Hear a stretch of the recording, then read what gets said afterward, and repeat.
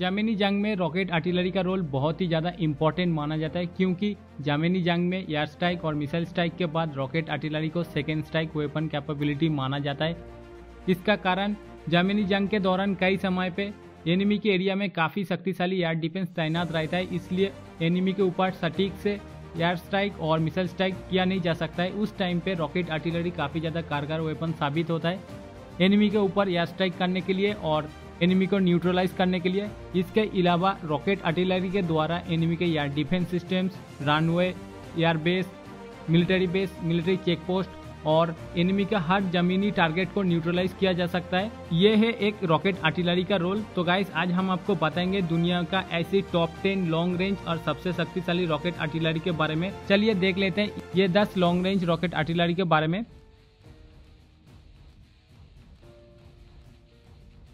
Number 10 पे है जिलजल two rocket और इस रॉकेट ईरान का सबसे शक्तिशाली और सबसे successful rocket series Zilzal one का नेक्स्ट वेरिएंट है जिलजल टू रॉकेट। इस रॉकेट को बनाया जा रहा है 1997 से और इस रॉकेट का मास वेट है तीन हज़ार पाँच सौ पचानवे के जी जिलजल टू रॉकेट 600 के जी वारहेड पेलोड कैरी करने की कैपेबिलिटीज है। इसके अलावा इस रॉकेट का रेंज है 210 किलोमीटर और जिलजल टू रॉकेट का डायामीटर है 610 M Zilzal two rocket Russian 9 के 52 लूना एम मिसाइल का एक अपग्रेडेड वेरिएंट है। इसके आधार पर इस रॉकेट को बनाया गया है और ये रॉकेट का यूज़र हेजबुल्ला भूती रेबेल और सीरियन आर्मी है। जिलजल रॉकेट आज तक लेबनान वार, सीरियन वार और ईमेन वार में इस्तेमाल किया गया है। नंबर नौ पे पोलोनिक्स ये बेलारूस का तैयार करता सबसे लॉन्ग रेंज और सबसे बड़ा रॉकेट आर्टिलरी से। इस रॉकेट को तैयार किया जा रहा है 2014 से और इस रॉकेट मिलिट्री में शामिल हुआ 2016 से। इस रॉकेट का मास वेट है 2800 केजी और ये रॉकेट 480 केजी तक वारहेड पेलोड कैरी करने की कैपेबिलिटीज है और इस रॉकेट का रेंज 210 किलोमीटर। पोलोनेस रॉकेट का डायामीटर 300 mm और पोलोनेस रॉकेट को काफ़ी ज़्यादा गाइडेड सिस्टम से गाइड किया गया है, जैसा कि इसमें ग्लोबल नेविगेशन सिस्टम और इंटरनल नेविगेशन सिस्टम से इसको गाइड किया गया है और ये रॉकेट काफ़ी ज़्यादा सक्सेसफुली इस्तेमाल किया गया था 2020 का सबसे बड़ा नौगन्नो काराबाक वार में। नंबर आठ में के एन ज़ीरो नाइन रॉकेट और ये रॉकेट नॉर्थ कोरिया का सबसे पहला और सबसे शक्तिशाली लॉन्ग रेंज रॉकेट आर्टिलरी से और इस रॉकेट को बनाया जा रहा है साल 2014 से। इस रॉकेट का मास वेट 1500 से लेकर 1800 केजी और ये रॉकेट 190 केजी तक वारहेड पेलोड कैरी करने की कैपेबिलिटीज है। इसके अलावा इस रॉकेट का डायमीटर 300 एम और के एन रॉकेट का रेंज 210 किलोमीटर। और ये रॉकेट इन सर्विस किया गया था 2016 से और इसके अलावा के एन रॉकेट का एक और एक अपग्रेडेड वेरिएंट है, जिसको जीपीएस सिस्टम और नेविगेशन सिस्टम से लैस किया गया है। इसके बाद नंबर सात में A three hundred M B R L ये रॉकेट चाइना के द्वारा बनाए जाने वाला एक लॉन्ग रेंज रॉकेट आर्टिलरी से कहा जाता है। इस रॉकेट का रेंज 250 किलोमीटर है और ये रॉकेट 150 के जी तक वारहेड पेलोड कैरी करने की कैपेबिलिटीज है और इस रॉकेट का मास वेट 1200 से लेकर 1500 के जी तक है और इस रॉकेट को गाइडेंस सिस्टम से लैस किया गया है, जैसे कि ग्लोबल नेविगेशन सिस्टम्स और इंटरनल नेविगेशन सिस्टम से। इस रॉकेट का भी कैलिबर 300 एम है और ये रॉकेट कब सर्विस में आया और कब से इस रॉकेट को प्रोड्यूस किया जा रहा है, इसके बारे में चाइना कुछ पब्लिकली डिटेल्स शेयर नहीं किया है और ये एक चाइना का mysterious long range rocket artillery है जो काफ़ी ज़्यादा घातक और काफ़ी ज़्यादा शक्तिशाली है। गाइस अब तक जो रॉकेट आर्टिलरी के बारे में आप देख रहे थे या सुन रहे थे, ये सब परफेक्टली एक रॉकेट आर्टिलरी था, मगर इसके बाद आप कुछ कुछ ऐसा देश के बारे में देखोगे जो टैक्टिकल बैलिस्टिक मिसाइल्स और क्रूज मिसाइल्स को एक रॉकेट आर्टिलरी की तरह ही इस्तेमाल करता है और ये काफ़ी ज़्यादा इफ़ेक्टिव और काफ़ी ज़्यादा सक्सेसफुल रहा है पिछले कई सारा वार में। नंबर छह में Astros two ABTM rocket artillery इसमें ए जो रॉकेट है, ये एक क्रूज मिसाइल से और ये ब्राज़ील का द्वारा बनाए जाने वाला एक लॉन्ग रेंज रॉकेट आर्टिलरी से और इसको तैयार किया गया है साल 1999 से। इस रॉकेट आर्टिलरी का पर्टिकुलर कई सारा वेरिएंट है, मगर इस रॉकेट आर्टिलरी का डायमीटर 450 सौ mm और इस रॉकेट आर्टिलरी का रेंज 300 किलोमीटर, इस रॉकेट आर्टिलरी का मास वेट 1100 केजी और 200 से लेकर 500 केजी तक वारेट पेलोड कैरी करने की कैपेबिलिटीज है इस रॉकेट आर्टिलरी में। आज के डेट में इस रॉकेट आर्टिलरी का पर यूनिट कॉस्ट एक से लेकर टू मिलियन यूएस डॉलर और इस रॉकेट आर्टिलरी में GPS systems navigation system internal navigation systems के द्वारा इस रॉकेट आर्टिलरी को लैस किया गया है और ये एक क्रूज मिसाइल है और इसलिए इसका स्पीड भी एक सबसोनिक स्पीड है 0.85 मैक और ये रॉकेट आर्टिलरी का एक्यूरेसी कहा जाता है 30 मीटर और ये रॉकेट आर्टिलरी इस वक्त ब्राजीलियन आर्मी ब्राजीलियन नेवी और मिलिट्री कॉप के द्वारा इस्तेमाल किया जा रहा है।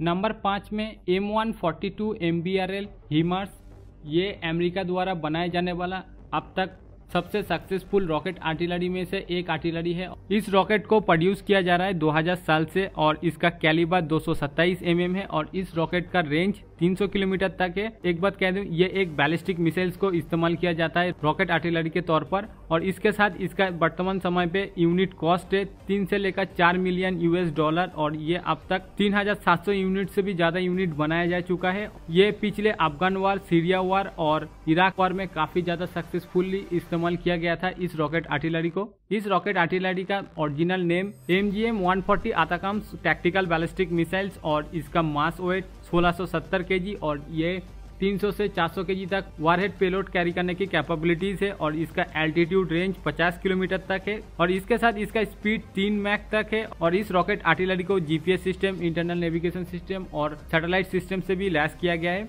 और इस रॉकेट आर्टिलरी का सबसे बड़ा यूज़र तुर्की ग्रीस और यूनाइटेड किंगडम और साउथ कोरिया है, अमेरिका के अलावा। नंबर चार पे लाइनेक्स रॉकेट और इस रॉकेट को बनाया है, इसराइल ने। और पर्टिकुलर लाइनेक्स को कब से प्रोड्यूस किया जा रहा है, इसके बारे में पब्लिकली ज़्यादा डिटेल इसराइल शेयर नहीं किया है, मगर ये एक रॉकेट लॉन्चर है और लाइनेक्स रॉकेट लॉन्चर से 122 से लेकर 300 सौ mm कैलिबर का रॉकेट फायर किया जा सकता है, जिसका रेंज 250 किलोमीटर से लेकर 300 किलोमीटर तक है और इस रॉकेट लॉन्चर से बैलिस्टिक और क्रूज दोनों मिसाइल्स को फायर किया जा सकता है, जो टैक्टिकल बैलिस्टिक मिसाइल में पीडिएटर हॉक और क्रूज मिसाइल में डेलिया क्रूज मिसाइल इस्तेमाल किया जाता है।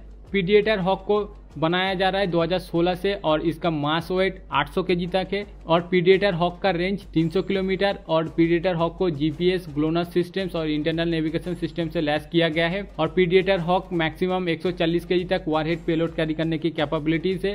एक्यूरेसी अगर कहा जाए तो ये 10 मीटर है।